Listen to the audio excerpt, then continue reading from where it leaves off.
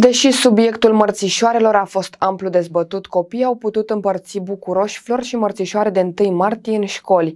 Toate măsurile igienico-sanitare au fost respectate, iar tradiția a fost păstrată fără incidente. La școlile din municipiul Drobeta Turnu Severin, sărbătoarea mărțișorului nu a trecut neobservată. Elevii au oferit colegilor și profesoarelor mărțișoare și flori. Inclusiv cadrele didactice consideră că păstrarea tradiției nu este un lucru rău. A fost o zi de școală normală, obișnuită, cu activitățile uh, didactice uh, cuvenite zilei respective și s-a păstrat tradiția mărțișorului, au fost oferite mărțișoare profesorilor, colegilor, colegelor da, de clasă, respectând normele de igienico-sanitare în vigoare. Credeți că este un lucru bun că s-a păstrat tradiția?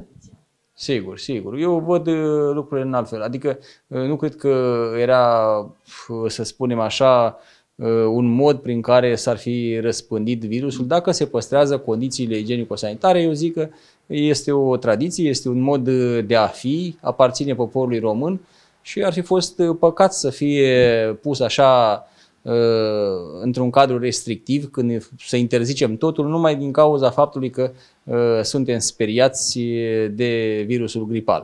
Deci trebuie să încercăm să trăim viața normal, păstrând respect, uh, repet, condițiile igienico-sanitare care se impun. Ziua de 1 martie înseamnă începutul primăverii calendaristice, dar pentru români este strâns legată de tradiția oferirii de mărțișoare, un simbol străvechi prin care se celebrează schimbarea de anotimpuri și renașterea naturii.